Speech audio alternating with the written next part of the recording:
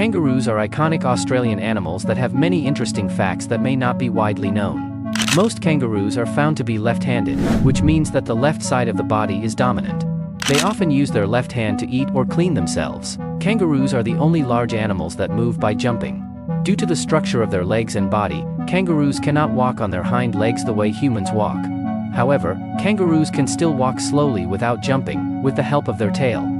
Kangaroos are very muscular animals, with almost half of a red kangaroo's body weight made up of muscle. This makes them one of the most muscular animals in the world. In addition, the red kangaroo's muscles can also use energy efficiently. The level of efficiency is even better than horses, and certainly much better than humans.